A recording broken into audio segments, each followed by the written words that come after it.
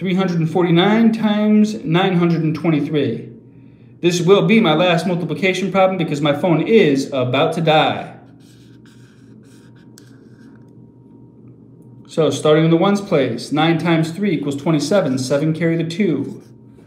4 times 3 equals 12, plus 2 equals 14, 4 carry the 1. 3 times 3 equals 9, plus 1 equals 10. Now before we multiply the top three digits times the bottom digit in the tens place, we put a zero in the ones place. Since both digits in the ones place have been multiplied. 9 times 2 equals 18, 8 to carry the 1. 4 times 2 equals 8, plus 1 equals 9. We do not need to regroup since our product is less than 10 there. 3 times 2 equals 6. Now before we multiply the top three digits times the bottom digit in the hundreds place, we have to put a zero in the ones place and a zero in the tens place because both digits in the ones and tens place have been multiplied. 9 times 9 equals 81. 1, carry the 8.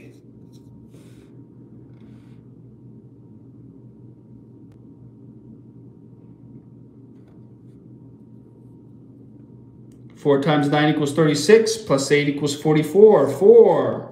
Carry the 4.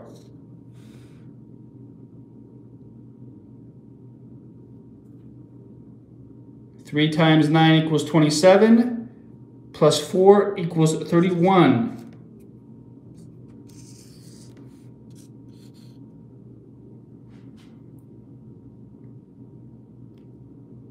And now we add these three numbers together to get our final answer.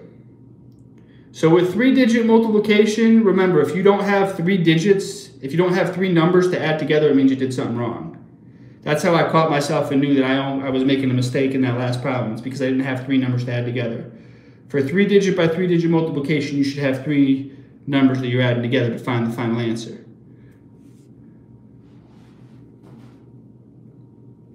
Seven plus zero plus 0 equals 7. 4 plus 8 plus 0 equals 12. 2 carry the 1. 1 plus 0, that's 1. Plus 9 is 10. Plus 1 is 11. 1, carry the 1.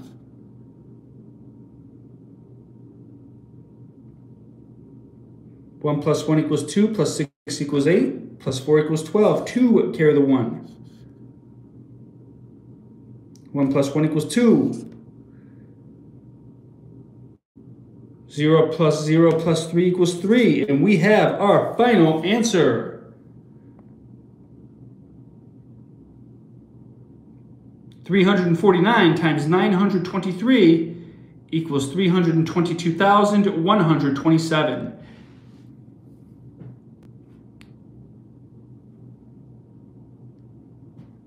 And that is my live stream for today. Thank you so much for tuning in. Leave a comment. Let me know what you thought of the video. Remember to hit the like button and the subscribe button. And if there's an area of math in math or reading that you're having difficulty with, put that in the comments and I will try to do a future video on that skill. Until next time, this is Mr. Camilleri signing off.